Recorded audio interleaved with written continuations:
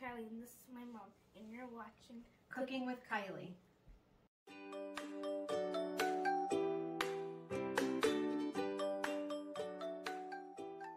Today we're going to be making, A shamrock shake. the ingredients are Four cups of vanilla ice cream, two cups of almond milk, your rainbow candy, green food coloring, and peppermint. You'll also need whipped cream topping for on top of your shake and glasses. Now you're going to add all your ingredients to the blender.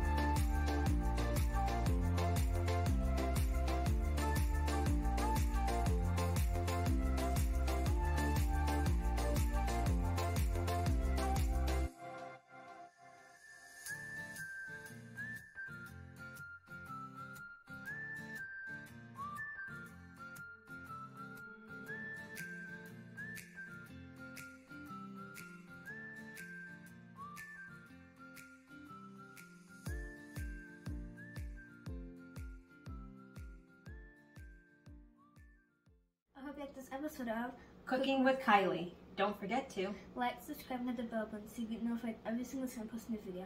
And I hope you try this at home. Bye.